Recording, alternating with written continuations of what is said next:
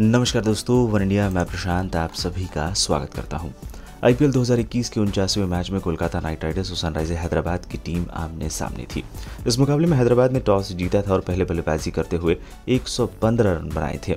जवाब में, कोलकाता की टीम ने चार विकेट के नुकसान पर उन्नीस दशमलव चार ओवर में एक सौ उन्नीस रन बनाकर छह विकेटों से मुकाबला जीतकर अपनी प्लेऑफ की उम्मीदों को बरकरार रखा है। आपको बता दें, इस जीत के साथ कोलकाता के 12 अंक अब हो गए हैं और पॉइंट्स टेबल में अब भी वो चौथे स्थान पर बनी हुई है। इस वीडियो में हम आपको के के उन पाँच हीरोज से आपको मिलवाएँगे जिनकी बदौलत उन्होंने न सिर्फ़ एसआरएच को हरवाया, बल्कि अपनी प्लेऑफ की उम्मीदों को बेहद मजबूती से ज़िंदा रखा है। मैच के पहले हीरो रहे शुभमन गिल। जी हाँ इस लो स्कोरिंग मैच में शुभमन गिल ने इक्यावन गेंदों पर संतावन रनों की पारी खेलकर कोलकाता की जीत को सुनिश्चित करवाया। शुभमन गिल ने इस दौरान 10 चौके भी लगाए।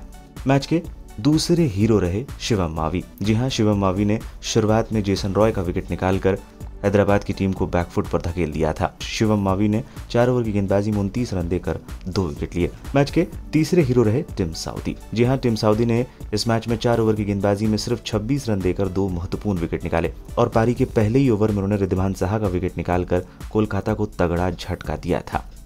मैच के चौथे हीरो रहे वरुण चक्रवर्ती। जी हाँ वरुण चक्रवर्ती ने इस मुकाबले में चार ओवर की गेंदबाजी में सिर्फ़ 26 रन देकर दो विकेट निकाले। ये वरुण चक्रवर्ती का ही मिडिल ओवर का स्पेल था, जिस पर कभी भी एसआरएच के बल्लेबाज खुलकर नहीं खेल पाए और पूरी टीम सिर्फ़ 115 रन ही बना सकी। मैच के पाँचवें और अंतिम हीरो रहे शाकिब अल हसन। जी हाँ शाकिब अल हसन ने इस मैच में गेंदबाजी से चार ओवर में सिर्फ़ 20 रन देकर एक विकेट हासिल किया, लेकिन उन्होंने मैच का सबसे बड़ा विकेट सनराइजर हैदराबाद के कप्तान केन विलियमसन को रनआउट कर मैच का पासा पूरी तरीके से पलट दिया था।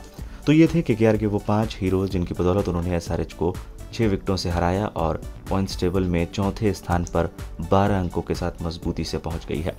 फ़िलहाल इस वीडियो में इतना ही। तमाम अपडेट्स के लिए बने रहे और इंडिया के साथ।